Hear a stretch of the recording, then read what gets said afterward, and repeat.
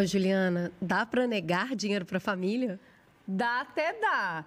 Só que é difícil, né? Aliás, o que, que com a família é fácil? Ó, oh, e se você também está precisando pedir dinheiro emprestado, essa conversa aqui também te interessa. Vamos ouvir a história.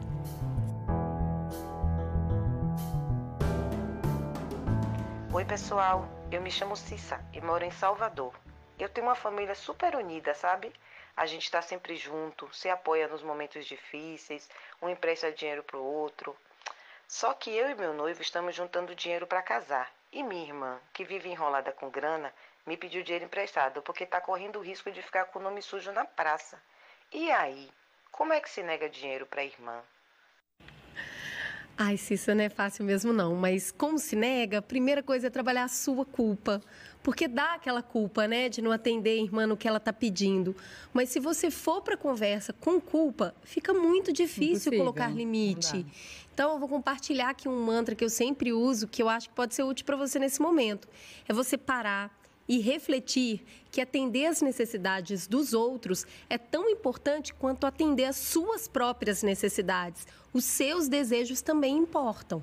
Nossa senhora, mas tem que repetir, repetir, repetir para ver se entra Anota na nossa no papelzinho, cabeça. Sabe? É. Porque eu acho que esse mantra ajuda a gente não só a lidar com a culpa, mas a evitar dar desculpa. Porque é isso que a gente faz. A gente fica dando desculpa, a irmã vai lá e contorna a desculpa, a gente fica num beco sem saída e quando vê, tá lá emprestando dinheiro.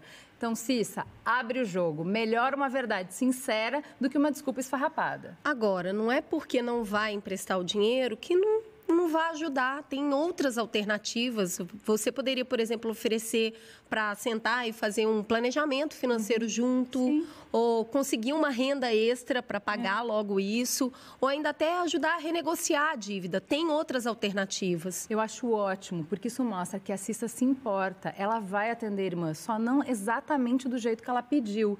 Ela quer resolver o problema sem criar um outro para ela. Acho que dá para falar mais ou menos assim. Eu sinto muito pelo que você está passando, sei que é difícil. E nesse momento, o dinheiro que eu tenho está comprometido para o meu casamento, você sabe. Então, eu e meu noivo estamos juntando. O que eu posso te ajudar é, por exemplo, vendendo bombom no meu trabalho para você. Ou você pode vender aquele violão, qualquer coisa, né? Que não uhum. tem mais utilidade. E ficar com a renda desse violão. O que, que você acha? Isso ajuda? Porque colocar limite não é ser egoísta. A Cissa é tão generosa que ela quer ajudar a irmã a buscar soluções. Cissa, a gente vai ficar aqui na torcida para que a superação desse obstáculo só una mais vocês duas. É isso aí, um beijo e até o próximo Mamilos de Saia.